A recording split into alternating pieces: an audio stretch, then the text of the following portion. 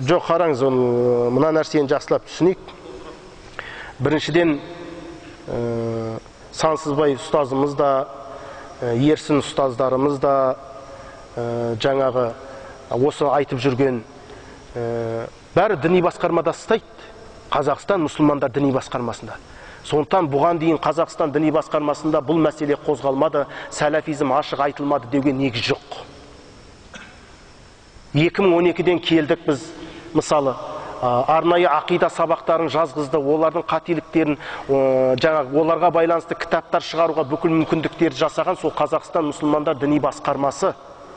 Сондықтан діни басқармамызға қара шаңырағымызға біз ә, бір үлкен кінә артпауымыз керек. Керісінше қолғабыс болып ә, жаңағы бір жағынан қамқор қам, жаңа жәрдемші болуымыз керек. Ал енді ә, ертең қалай болып кетеді деген сұраққа келетін болсақ алладан сұрайық. Мұсылманның қаруы не дұға дейді.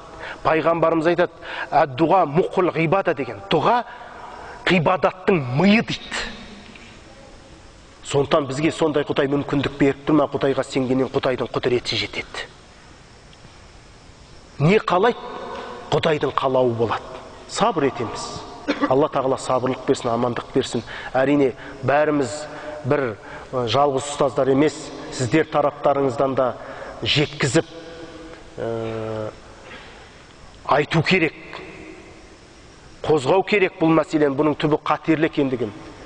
Жаңағы. Енді бұл көрдіңіздер ме? Бірдің кесірі мыңға тиеді. Бұл сауатсыз бауырларымызға біз айтып жатырмыз. Бұл жақсы емес.